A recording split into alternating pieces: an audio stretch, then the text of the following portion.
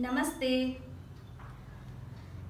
Lockdown three में सभी लोग हैं, घर के अंदर बंद हैं। तो मैं कुछ बात बताने जा रही हूँ। यूँ तो सभी जानते हैं कि बहुत सारी कविताएँ हैं हिंदी और इंग्लिश में। उनमें से काफ़ी कविताएँ बहुत लोकप्रिय भी हैं। किंतु राष्ट्र कवि रामधारी सिंह दिनकर की कविता, जो बच्चों के लिए है, काफ़ी प्रेरणादायक और उपयोगी है। जिसका शीर्षक है, टेसू राजा अड़े खड़े। यह कविता काफ़ी उत्साहवर्धक और ज्ञानवर्धक होने के साथ साथ मनोरंजन से भरी हुई है। कविता के माध्यम से दिनकर जी ने ये कहा है कि कोई भी व्यंजन जो हमारी थाली में परोसा जाता है, वो कई सारे लोगों के परिश्रम से बनता है। इसीलिए हम जब भी कोई व्यंजन खाते हैं, जो हमें काफ़ी स्वादिष्ट लगता है तो हम सिर्फ़ उसे ये कहकर नहीं छोड़ें कि किसी को नहीं मिल रहा होगा। बल्कि उसके साथ साथ हम ये भी सोचें कि इस व्यंजन को बनाने में सिर्फ़ हमारी माँ का मेहनत नहीं, बल्कि कई सारे लोगों का मेहनत उसमें लगा हुआ है।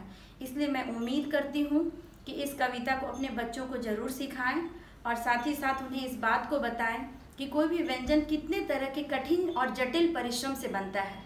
तो आइए, ये कविता टेसू राजा अड़े खड़े मैं आपको सुनाती हूँ अपने बेटे इयान के थ्रू। टेसू राजा?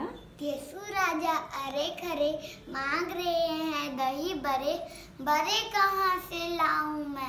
पहले खेत खुदाऊं मैं उसमें उड़द लगाऊँ मैं फ़सल काट घर लाऊं मैं छान पटक रखवाऊं मैं।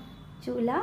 चूल्हा फूक जलाऊं मैं फिर टिकिया गोल? टिकिया गोल बनाऊँ मैं फिर कढ़ाई में डालूं मैं तलवा कर छकवाऊँ मैं।